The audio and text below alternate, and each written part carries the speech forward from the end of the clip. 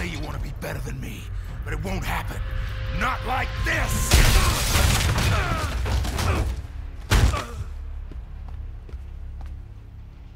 I know I failed you, but I tried to save you, Jason. I'm... I'm trying to save you now. Is that what you think this is about? That you let me die? I don't know what cloud your judgment worse. Your guilt or your antiquated sense of morality. Bruce, I forgive you for not saving me. But why? Why on God's earth? Is he still alive?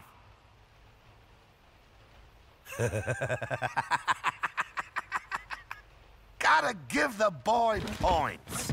He came all the way back from the dead to make this shindig happen. So, who's got a camera? Ooh, ooh, get one of me and the kid first. Then you and me, then the three of us, and then one with the crowbar. Then... Ah! You be as quiet as possible, or I'll put one in your lap first. Party pooper. No cake for you. Ignoring what he's done in the past. Blindly, stupidly disregarding the entire graveyards he's filled. The thousands who have suffered.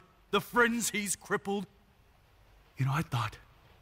I thought I'd be the last person you'd ever let him hurt. If it had been you that he'd beat to a bloody pulp, if he had taken you from this world, I would have done nothing but search the planet for this pathetic pile of evil death worshipping garbage and send him off to hell. You don't understand. I don't think you've ever understood. What? What, your moral code just won't allow for that? It's too hard to cross that line? No! God Almighty, no! It'd be too damned easy. All I've ever wanted to do is kill him.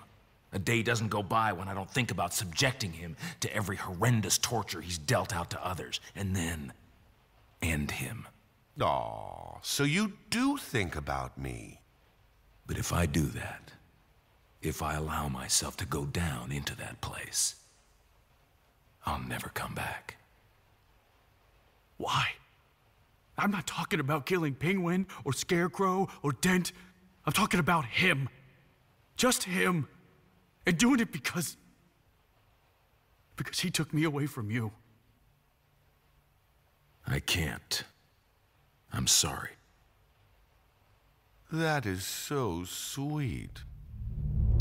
Well, you won't have a choice.